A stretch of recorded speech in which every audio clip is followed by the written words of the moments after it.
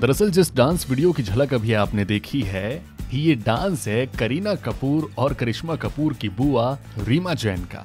जी हाँ संदीप खोसला की भतीजी सौदामिनी मट्टू के वेडिंग रिसेप्शन पार्टी में रीमा जैन ने जब डांस किया तो सबका डांस फीका पड़ गया। नमस्कार, मैं हूँ अभिषेक। आपने लॉगिन किया है bold sky designer Sandeep Khosla की भतीजी, सौदामिनी मट्टू की वेडिंग के बाद रिसेप्शन पार्टी हुई, जिसमें कई बॉलीवुड सितारे पहुँचे और वहाँ से कई तस्वीरें और डांस वीडियो सोशल मीडिया पर अभी तक लगातार वायरल हैं। बॉलीवुड सेलेब्स के स्पेशल डांस एक्ट ने लोगों को क्रेजी कर दिया। लेकिन जब करिश्मा और करीना कपूर की बुआ, यानी कि ऋषि कपूर की बहन रीमा जैन ने डांस किया, वो भी कजरारे सॉन्ग पर तो जनाब महफिल में आग लग गई अब आप भी जरा देखिए इस डांस को।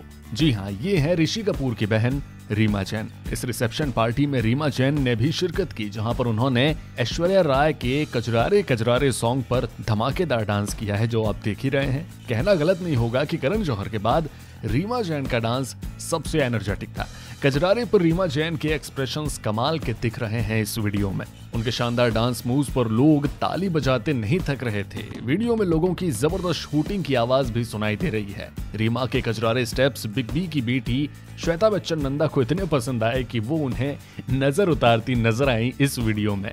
बता दें कि इस वेडिंग रिसेप्शन में करण जौहर, श्वेता नंदा, सारा अली खान, जया बच्चन, सोनम कपूर, इन सबने डांस किया था। इन सबके डांस वीडियोस वायरल हुए थे, इनकी चर्चाएँ थी, लेकिन जैसे ही रीमा जैन का वीडियो वायरल होना शुरू हुआ लोग बस यही कह रहे हैं कि सबको पीछे छोड़ दिया करीना कपूर की बुआ रीमा जैन ने। अब इस उम्र में भी कजरारे कजरारे पर इतना बेहतरीन डांस कर रीमा जैन ने साबित कर दिया कि भले ही वो फ़िल्म इंडस्ट्री में ज़्यादा एक्टिव न रही हूँ, लेकिन उनके रंग में भी कपूर खानदान का ये टैलेंट दौड़ता ज़रूर है। बहरहाल ये वायरल वीडियो वाकई काफ़ी क्यूट सा, काफ़ी एनर्जेटिक और काफ़ी धमाकेदार है। इस वीडियो में फ़िलहाल इतना ही।